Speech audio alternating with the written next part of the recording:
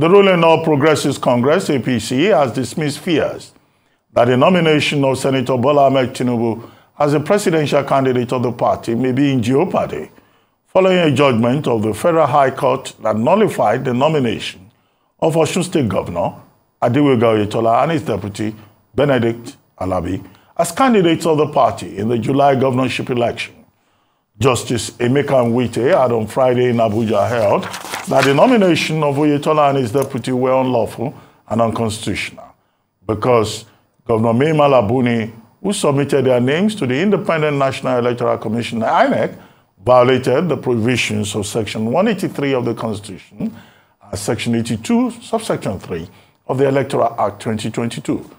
The suit marked FHC slash ABJCS slash 468 slash 2 2022 has Buni, former acting chairman of the APC and four others, as defendants. Buni organized a party's convention where Senator Abdullahi Adamu emerged as the party's national chairman. Adamu subsequently conducted the APC presidential primary, which produced Tinubu as the party's candidate for the 2023 election. This has generated anxiety in some quarters that since something cannot be built on nothing, the emergence of Tinubu from an exercise initiated by Buni could also be declared a nullity by the court. However, media checks revealed that the Federal High Court, sitting in Port Harcourt, River State, had earlier affirmed the Buni-led caretaker extraordinary convention planning committee of the APC when he struck out his suit challenging the competence of the committee. Joining us now from our Abuja studio to review the recent court ruling and other matters arising is Liborous Oshoma, a lawyer and a human rights activist. Liboros, good morning. Yeah, good morning, Doctor, and um, good morning to Rufai. Good morning, sir. Okay, there are many strands to this uh, ruling from the Court of uh, Justice uh, Nwite, Federal High Court in Abuja, taking us back to the Akeredolu uh, uh, Jegede case uh, Yeah, exactly. Taking us many decades back uh, to the uh, ruling uh, made by uh, Lord Denning in Macfoy versus uh, UAC, you know, about how nothing can stand on You nothing. can't put something on nothing and and expect it to stand. stand. Yes. So please help us look at all these strands, you know, the implications and who the beneficiaries are, because it will appear that there are some beneficiaries. Ademola Adeleke of the PDP in Osun State will certainly be a major beneficiary, I think. Yes, um, thank you, uh, Dr. Reuben. If you remember, sometimes in July 2021, Festus Keyamo did write, um, he wrote a memo on the legal implication. That was immediately after the Supreme Court judgment on Akeredolu's co- case, where you had a split judgment of four against three. And um, Festus Keyamo looked at the legal issue and the legal quagmire and did raise an alarm. He also was supported by um, Senator Babafemi Ojudu and Ita Enang in that position, even though the Attorney General and some other persons disagreed. Uh, but uh, unfortunately, today, the court of um, Justice uh, Meka Nwite has proved uh, Justice uh, Festus Keyamo right in, in his ruling on this matter. Simple, Justice uh, Festus Keyamo's position then was that by virtue of Section uh, 183 of the Constitution, the an executive governor, the, that section forbids an executive governor from holding another executive position or collecting, you know, holding a position that will enable him collect sa- salary. These interpretations, you know, doctor, are disjointed, disjointively, and or so in this case, what the court is saying, permit me to quickly read the provisions of um, section 83 for the benefit of our, our, our listeners. Section 83 of um, the Constitution simply says that the governor shall not, during the period when he holds office, hold any other executive office or paid employment in any capacity whatsoever. The argument of um, the Attorney General then was that the um, position of um, Buni was an ad hoc position and that he wasn't paid for the job. But the argument of uh, Keyamo and uh, Babafemi Ojudu was the fact that there is no, no decision taken by a national chairman of a party that Buni hadn't taken. So the fact that is um, uh, is described as a caretaker committee to organize a extraordinary committee does not mean that he's not taking executive position. In fact, a lot of the ordinary man would see him as an executive, acting executive chairman of the party. And Keyamo did advise that what the party could do was to call um, uh, the uh, National Executive Council of the party to reconstitute that uh, extraordinary uh, caretaker committee and then remove anybody who is holding an executive position, governors. You know, but the party, you know, disregarded that position. Even there was a suit also that challenged the candidature, earlier challenged the candidature of uh, Oyetola on the ground that is a member of that committee. Budo, that suit also was uh, dismissed by the Federal High Court. But today, we are seeing a, dif a different Federal High Court saying that there's a violation of Section 183. And what that means is that every decision, like you had said, every decision taken, if this judgment is sustained, it means that every decision taken by that committee, including the congresses and the convention organized by the committee, amounts to a nullity. That is going to put APC in a quagmire uh, uh, uh, situation. So, but we'll wait to see because the matter definitely, matters of this nature will definitely end at the Supreme Court. We'll wait to see how um, the Supreme Court will look at it. But some persons also have argued that um, considering the fact that the uh, um, primaries that produced the APC presidential flag bearer was conducted by Adamu and that the matter, you know, being um, statute bad at this stage can no longer be questioned. But you, we should also remember that the, the issue was raised in a pre, post-election matter in Akeredolu's case. The judgment of the Supreme Court was that the Buni was not a party in that matter. So now there is a clear reading to that section. So if the other party, let's say PDP or Labour Party, decides to raise that issue after the election and if the Supreme Court sustains that position, then it might be a bring a pose a big challenge for the APC. Let's let's talk about the severity of this challenge, you know, for the APC. Because with what you're saying now, is that there are going to be far-reaching implications. Even the Akeredolu case, a lot of people were not happy about the judgment and they said he just scaled based on technicality. So let's expand this conversation and even yeah. know, let's look at this far-reaching consequences because it's also going to hit Ekiti State. So are you saying that somebody like the SDP candidate in yeah, the former yeah. elections in Ekiti State cannot go to court and use this as a bait to challenge the the governor that's about to be sworn in Ekiti State, let's look at the far-reaching effect of all of this. If, if it wasn't for the Ekiti case, if that issue, mind you, election petitions are no longer amended. Amendment of uh, petitions are, are, no longer allowed by the provisions of um, the Electoral Act. So if it wasn't already an issue in the election petition filed by the candidate of the SDP, in Ekiti State, then that is a foregone and concluded issue. He can no longer amend his uh, uh, petition to include that prayer. And um, if he didn't file any petition, I am sorry it is too late in the day for him to rush to a tribunal to be filing a petition now. But like I have, I, I have said, the far-reaching implications are grave if this position is sustained. I, I completely, I keep quoting Babafemi Ojodu. I completely agree with the positions of Babafemi Ojodu, then senator, a former senator of the Federal Republic, that even though, as I, immediately after the judgment, Akeredolu dismissed the judgment, even the, um, the APC lawyer then dismissed the judgment that a dissenting judgment of a Supreme Court cannot form the basis of a decision. But the warning of Festus Keyamo was not that the dissenting judgment was the position of the law, was that it is it might be the position of the law in subsequent matters, even though no two cases are the same. And that is what has played out in the case of Oyetola today now. That remember, Boni also Boni also submitted the name of uh, the candidate of uh, the Ekiti State uh, APC candidate to INEC and he organized the uh, convention that produced Adamu. So if the court sustain that position that Buni, by all intent and purpose, and by the provisions of Section 183 of the Constitution, does not have the power to hold that position.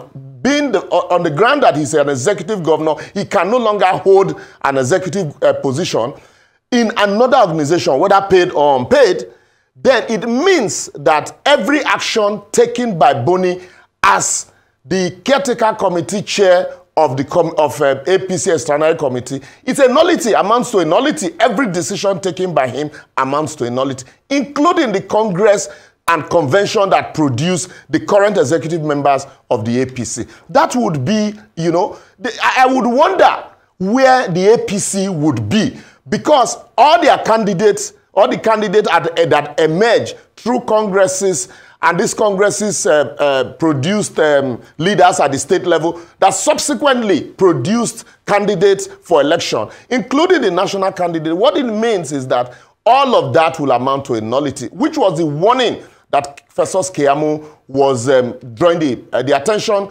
that uh, Festus Keyamo was drawing the party to at that time. But they allow politics to prevail.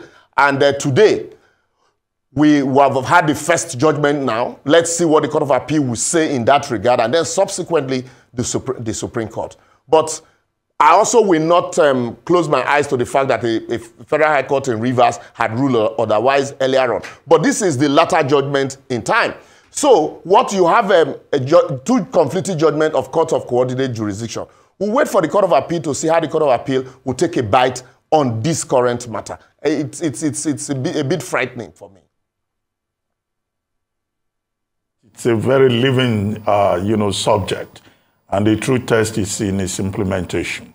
The Supreme Court, in the uh, Akeredolu uh, Jegede matter, uh, may have taken the position that it took because Buni was not joined in the suit. I think that was the ruling. And then you refer to the, uh, you know, minority judgment by uh, uh, Justice uh, Mary Odili, JSC, as she then was. But the Supreme Court now has an opportunity. It may not reverse itself in a particular case, but if this matter goes all the way to the Supreme Court, the Supreme Court has, you know, the opportunity uh, to reverse itself uh, in the precedence that was established uh, previously. What do you think is likely to happen? What, what the Supreme Court simply said in that matter was Buni was not joined. The Supreme Court did not make a pronouncement on, on the majority decision didn't make a pronouncement on those issues raised. So there is no position. But what the Supreme Court simply said was that since Buni was not a party in the matter, he could not go into that issue. And for me, it was a signal to the point that this can, this can be an issue. The fact that what amounts, the first thing is, what amounts to an executive position? Because Section 183 is talking about executive position, taking executive decision. Or you are holding a position whereby you are collecting salary. That's of a minister. So what the Supreme Court will be looking at is what amounts to executive position. The position, even though the party had argued that the position of uh, Boni was that of um, um, an extraordinary, an ad hoc based uh, position, an extraordinary caretaker committee chair to organize a, a congress. But we also know that the position of Boni then was beyond just organizing a congress. That's what Justice Nwite is also querying. The position of Boni then also amounted to an executive position by submitting the names of candidates to INEC for an election, which was what the PDP queried in the case of uh, Ondo. That is an executive position. That is a position that is exercised by the uh, party national chairman. Um, INEC Porter, we all know, it's a notorious fact that INEC Porter, the code to INEC Porter to submission of name is only accessible to the chairman of a party and the secretary of that party. So by submitting those names, um, you can say that Boni was exercising an executive power. And then also, uh, Article 7.4 of the uh, APC, APC Constitution, also forbids um, a, a, a, a, governor holding an executive position in, in the um, um, uh, National Working Committee of the party. So all of these are the issues that would, you know, come up at the end of the day. I doubt, I, these are my opinion, I doubt if the Supreme Court, because it has not even we can't say it will overrule itself because it didn't even take a bite on the matter. I just said this person was not joined as a party. The argument, the argument of some of the lawyers for the party also is the fact that you cannot join Buni in a matter that is a post-election matter.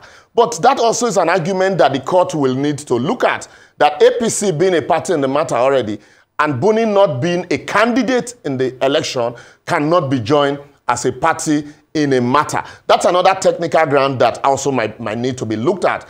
But if there are issues that borders on his action as a chairman or as uh, uh, somebody holding an executive position, whether the nomenclature describes him as um, executive position or a caretaker committee uh, or, or a, a, a, committee to organize extraordinary caretaker, uh, extraordinary congress, the, the, these are nomenclature. So it is the way the courts would describe what actually the position that he holds or the conduct of that position that will matter at the end of the day. That's why a lot of people are still, um, you know, skeptical that this might signal danger.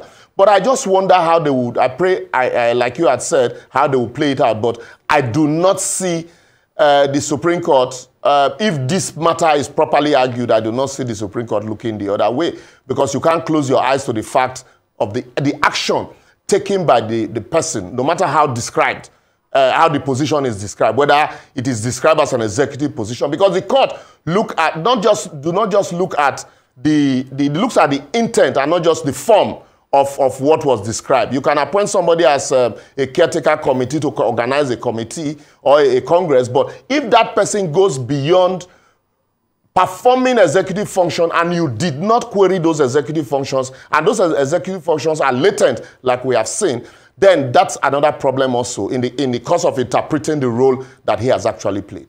Well, but what is tantamount to executive functions were performed like you just stated there? So why are we saying okay they might not be able to define it properly and say okay he was a caretaker person but he signed forms in the first regard and we cannot remove that fact from this conversation. Yes, that that's what I'm saying. That's where because the argument of the party at that time, including the argument of the attorney general, was that the uh, Buni was not. Um, that means if you go by the letters of uh, Section 183, forgetting the spirit of Section 183, that uh, members of uh, governors who are members of governors forum were violating Section 183, and the interpretation is that the position of a, a, a, governor who is a member of governors forum does not extend beyond his state. A member who is a governor's who's a, a governor is a member of a governors forum cannot go to take decisions on who become a candidate of a party in another state. But we also know that there were parallel congresses in APC uh, at the time Buni was uh, the head of the caretaker committee, and any committee recognized by Buni was the authentic committee. He signed form for candidate. He submitted the names of candidate. These are position, these are decisions taken solely by chairmen of, of uh, political parties. So all of these, I, that's what I'm saying is that I want to see how all of these arguments will go back and forth. But I also raise the fact that the issue, the sole issue, another issue that would, another technical issue would be whether you can join him as a party in a matter that is a post-election matter because the Supreme Court had argued that, had ruled in uh, Akeredolu's case that he wasn't a party and so they couldn't look into the matter. He needed to come defend whether the action he's taking are executive uh, action or action spelled out by the uh, um, uh, letter or the uh, authority that appointed him as executive committee, as uh, a caretaker committee to organize, uh, what do you call it, uh, a, a, an extraordinary congress. So these, these are, that's what I'm saying. It depends on the way you want to look at it. But to the ordinary man, Buni was simply a, a acting executive chairman of the party, irrespective of the nomenclature that you, you want to give to him, because he played the role of the acting chairman of the party in the absence of uh, the national chairman when they had their crisis that saw the uh, exit of, of Oshiomhole. So we're coming back to Justice Wite now. Justice Wite had ruled that those actions amounted to or amount to a contravention of Section 183 and amount to a nullity. So ab initio, what it means is that by, by the provisions of the law of the Constitution today, Buni never existed. And any action taken by somebody that never existed amounts to a nullity because it is illegal. So, and uh, uh, uh, Dr. Ruben had said, um, USC and McFoy logged in and said you can't put something on nothing and expect it to stand. Can you say the action of Buni amounted to an illegality and now also now upheld the Congress or the convention conducted by Buni to stand to say yes, even though the, it's, it's an illegal act, but this convention that he conducted produced this candidate, and so the convention is in order. These are, uh, you know, questions that um, the court will also answer. But for the layman, it you would say, oh, plus plus one minus one. It is um, as simple as saying, look, everything amounts to a nullity. But even the other political parties will be interested in this, and I know that at the end of the day, even after the uh, election, a lot of them also want to make this an issue. Okay, I mean, more questions. In the uh, Supreme Court decision in the Akeredolu case, some people have raised the question, would the outcome have been different if uh, Mai Mala Buni was joined in the suit, you know, and the Supreme Court had to take uh, a decision. But beyond that, the APC convention, I thought the APC convention ratified itself uh, before it went ahead. Does that count for anything? And then third, I asked you about uh, uh, who is benefiting from the ruling of uh, Justice uh, Nwite's uh, court. Uh, because if it is said that Oyetola was not a candidate validly, uh, you know, chosen in that election, then does that, does that not translate into an advantage clearly for the PDP? And would that not just settle the matter in that regard? Yeah, um, let me take the last question first uh, we all know that um, if um, the, the court, if that uh, judgment is sustained by the, sustained by the Supreme Court, uh, as it stands today, what it means is that the APC had no candidate in that uh, Osun State election. That's what the court is simply saying.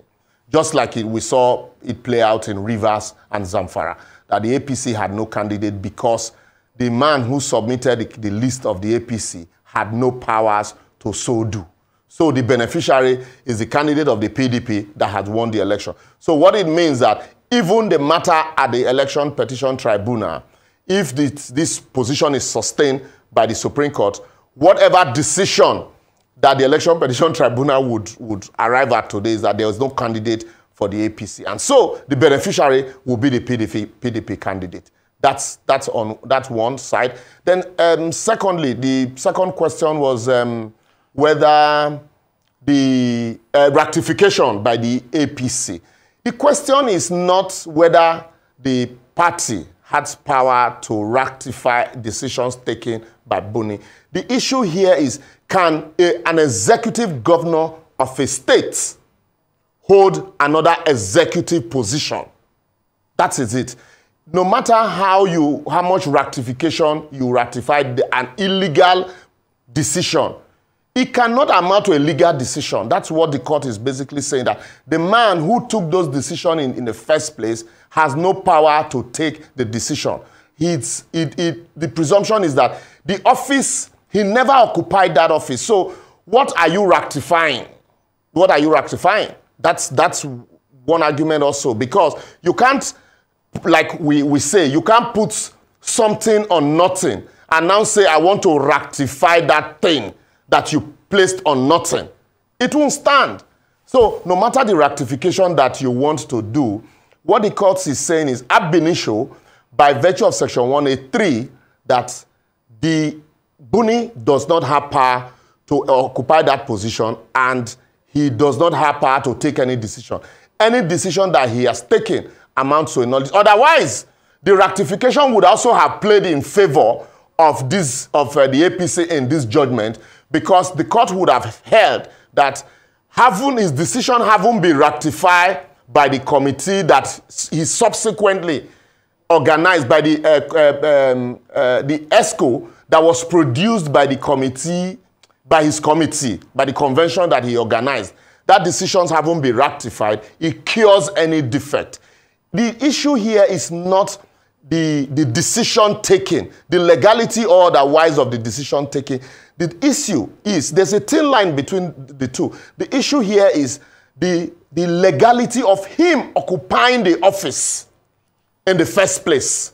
So that is the foundation of all other issues. So if it is illegal, that means any decision taken by him amounts to a nullity. And that's what the uh, Justice Nwite has said here. So um, then your qu first question now, I can't remember the first question again. No, I was asking uh, whether, whether the outcome would have been different in the Akeredolu case if uh, Buni had okay, been yes. joined in the suit. Yeah, exactly.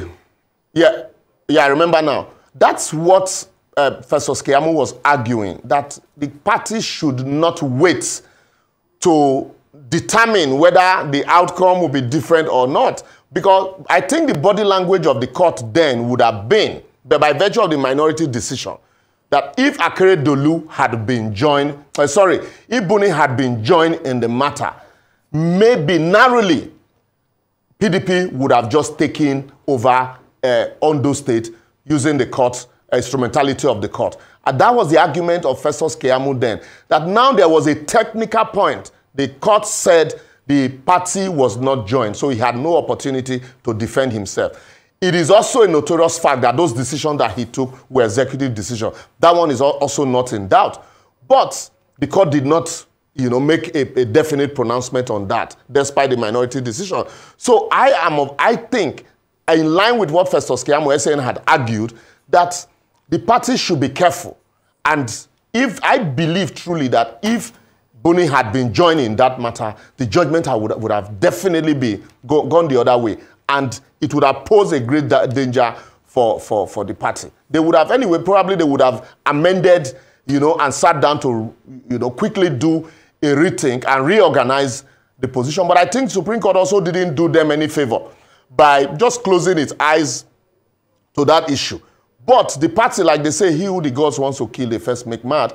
The party also kept silent in the face of all of this, in the face of the minority judgment. That we should have advised the party to quickly make amends and reorganize the, the, um, uh, the committee, removing the governors who were members of that committee. Or, like Festus also, you know, um, uh, pointed out or advised, also now probably asking the uh, board of trustees of the party to conduct a congress and convention, national convention at that time, that will uh, uh, uh, um, forthwith run the affairs of the party. But they also didn't do that because as at that time, a lot of them closed their eyes to the position of the law and where it was easy for might to rule because you had a lot of parallel congresses. So those who were favorites of uh, the parallel congresses recognized by Buni Feto, yes, Buni's action are in order. The Kivuku Keyamo was accused of being one of those that advised the, the, the president, you know, uh, in that direction. But the argument is that he advised the president before the Supreme Court decision. The Supreme Court decision haven't, you know, peeped into those issues. It was convenient for him to say, well, I gave that advice before this judgment. Now that this judgment has stated likely what the likely position of the law would be, it will be better for the court to look, for the party to have a rethink, retrace its step, and do this, you know, legally. But unfortunately, uh, that's not it. We're already mid midstream. We're already mid in the middle of the sea. We can we can only, you know, fold our hands and watch how you know they progress further from here. Let so, the fireworks begin. So let the fireworks begin. So definitely, what you're saying is that other parties have smelled blood. Will they go for the jugglers of the APC now? Definitely. Definitely. You see now, this, this um, when the judgment was given, delivered on Friday, a, a lot of, um, I know a lot of political parties, the, the PDP and the Labour Party would have cons constituted a legal team to study that judgment and uh, also see how they can use it to their advantage. Some members of uh, the Labour Party also feel that it is divine, that the judgment is a divine intervention by God, considering the groundswell of uh, support that the Labour Party candidate is getting, and the fear that the big party might rig the election, and that also the fear that the ruling APC might want to be an obstacle. So a lot of them are already seeing this judgment as, you know, God's intervention of removing the potential, you know, threat to Obi's emergence. So they probably would have constituted a legal team now to begin to look at those areas and how they will intend to use such judgment to their advantage. Okay, um, Liboros, uh, let me try to smuggle something in uh, since our last uh, conversation, which is the situation in Yobe North and INEC publishing the list of candidates for the 2023 election. Now, Mashina, uh, Bashi Mashina of the APC went to court saying he was not a placeholder for uh, Lawan, the Senate president. And the Court of uh, Justice uh, Fadimatu Aminu uh, ruled in his favor. But now the APC in Yobe North uh, says that they are going to court. Uh, they disagree.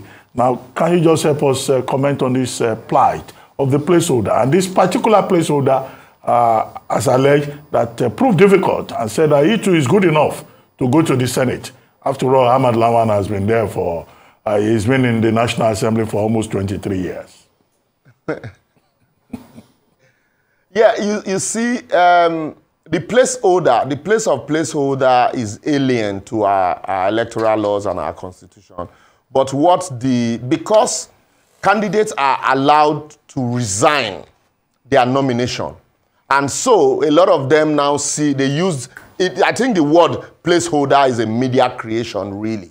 Uh, because it is, um, it is not, it is alien to our electoral act. So most times, like you saw play, what played out in, um, um, I think, Ebonyi State also, where the governor's brother, you know, was the one who went to contest um, the seats, the senatorial seat, and at the end of the day, you know, uh, will step down, will withdraw his candidature for his uh, brother. Also, we've seen that play out in 1999, uh, 20, 2019.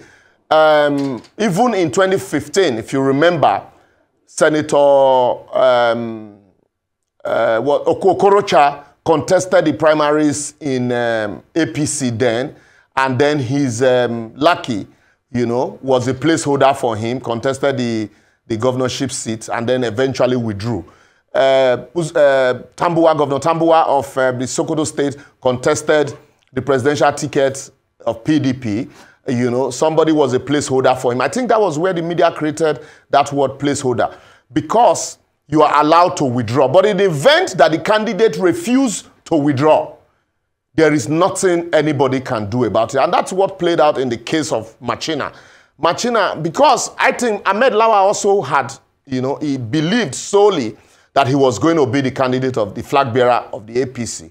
Considering the, the, the fact that, you know, at the end of um, just few days to the primaries, there were this, you know, talk uh, breaking news in the media that he was endorsement of the villa and um, uh, the party national, the, the, uh, the party national chairman, the newly elected party national chairman, also, you know, said that um, Ahmad Lawan was um, the candidate of the president and the rest. And so, you know, the man already had belief. I think probably that's why he didn't discuss with Machina, so that um, there will be an arrangement where Machina would, you know, honorably withdraw his candidature for him.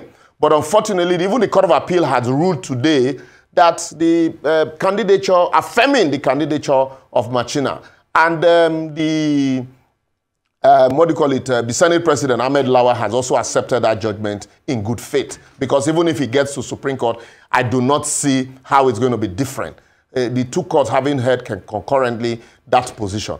But all of this, all of this issue, this issue that we are discussing now on the role of um, Buni, Mame Malabuni, as uh, the acting uh, caretaker committee chair of the party. All of this will come to a nullity if the Supreme Court sustained the judgment of Justice Emeka Onwuite that Mame Malabuni, his actions were illegal and that by virtue of Section 183, he ought not to have even occupied that position. So those going to court now, the Court of Appeal haven't affirmed the decision. Even those going to court now, for me, I think uh, they are just um, going to waste the time of the court by going to court to question that um, the candidature of, uh, um, what do you call it, um, Machina. But it is a similar case in that of um, Akpabio, in Akpabio's case. But we're seeing the legal quagmire playing out in that of in Akpabio's case, where you have two matters in court, one by Akpabio, one by uh, the DIG, who is um, the uh, uh, um, who is allegedly the duly elected candidate. But INEC has recognized Akpabio now. The court haven't asked INEC to list Akpabio's name as the candidate. But we also would watch to see how that also played out because the facts are similar. There had been consistent issue that um, the candidate, the DIG is saying is not a placeholder, and the former electoral commissioner of Akwa had said that the uh, party primaries that produce Akpabio was not monitored by INEC. And so they only recognized one party primaries, the one that produced the DIG. So every other subsequent party primaries that INEC had said they were not aware of it. Okay, uh, in that spirit, let's just make an extension to Agomeze's case too and, and, and see the legalese behind it. I didn't get that. The- and um, the governor of Ebonyi State. Yes, um, the governor of Ebonyi State's case now have been affirmed by the Court of Appeal. You know, uh, before before um, that's the senatorial ticket of Yes. um, of um, uh, the, the the governor of Ebonyi State. You know, the governor of Ebonyi State had argued that the, there was a primaries that produced his brother as the valid candidate of the party, and that the um, the applicant also contested that the validity of that primaries, and on that ground, that the uh, primaries was nullified and another primaries ordered by the party, just like that of um, uh, what do you call it, uh, Akwa the, the position of INEC was that the primaries, the other primaries that produced the governor of Ebonyi State was, you know, somehow questionable. But the Court of Appeal has heard otherwise now, affirming the candidature of, um, of the governor of Ebonyi State. So his own case is settled, unlike Akpabio's case. In Akpabio's case, even the primaries that the party is denying that produced the DIG, the, that primaries had been affirmed by Federal High Court in Port Harcourt uh, the, some of the candidates that emerged from that primaries, the Federal High Court in Port Harcourt has, you know, affirmed that primaries and their nomination. This is one of the reasons why the Federal High Court uh, Chief Judge, in its wisdom, did state that all pre-election matters should be instituted in Abuja, and also deposed to an affidavit to the effect that you, there is no multiplicity of action you know, on the same uh, uh, subject matter, on the, uh, uh, uh, uh, about the same party in another court. But we also have seen how politicians have abused this position consistently and find multiplicity of suits, and in some cases go to uh, their jurisdiction to fight some of these cases. But that of um, uh, the APC had been the uh, Ebonyi case had been, I think, had been laid to rest by the Court of Appeal, I, and we'll wait to see if it will be further challenged to the Supreme Court. Well, So INEC now had recognized the candidature of the governor of Ebonyi State. Okay, Liborous Oshoma, on this note, we'll take a short break. And then when we return from that break, the program will continue. Please stay with us. We'll be right back.